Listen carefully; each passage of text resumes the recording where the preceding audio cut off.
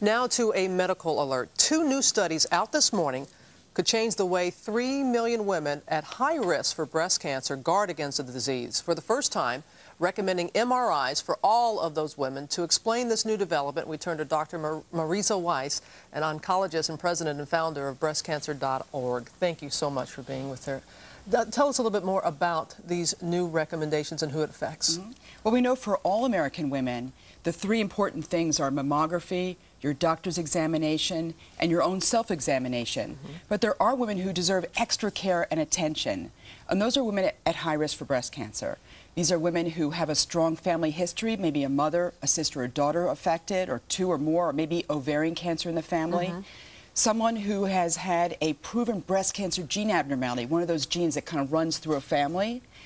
Somebody else who might have a personal history of breast cancer, has had breast cancer herself in the past. And then women who have had Hodgkin's disease treated as a young woman. These women are at higher risk for getting breast cancer relative to somebody else in the in the in the in the general population.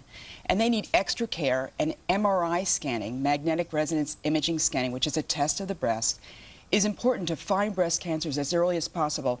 It doesn't replace all those three things, sure. mammogram, your doctor's examination, your self-exam, but it's an extra way to look in depth into the breast to make sure that you get the benefit of early detection. So if you're at high risk, you yes. should do this. If not, just the same recommendations? That's right. And for women who are at high risk, they also need to be evaluated more often than once a year. They need to be checked out every six months. So that's mammogram in alternation with MRI scan. So January mammography, July MRI scan, along with the other things. Now, Dr. Weiss, I don't have to tell you this. People at home are, are listening to this and saying, oh, great, MRI. That's very expensive. Yes. My health plan does not cover that. What That's do they right. do? And I hear that in my practice and at breastcancer.org, people say, how am I going to pay for this? Yeah. Because it does cost about $2,000.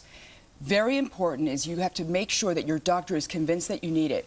Print out what you see at, at breastcancer.org and what you hear about today bring it to your doctor and say, this is important for my life. You know, this is my greatest gift. I need to protect it. I mm -hmm. need mm-hmm. you to help me. So when your doctor writes the prescription, it has to be complete and persuasive. Also get your insurance company to pre-approve the cost so you're not stuck with a bill after the test is obtained already. Mm.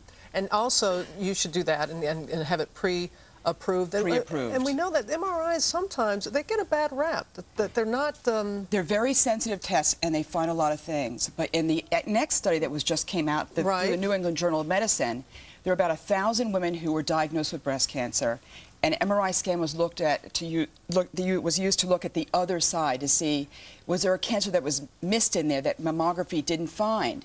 And in those women, they found about about 3% of breast cancers in there that were missed by mammography. Mm. So this new study in the New England Journal of Medicine is saying that MRI scan is important in a woman who is just diagnosed with breast cancer to check out both breasts and in, in particularly the other side to make sure you're not missing anything. Again, early detection.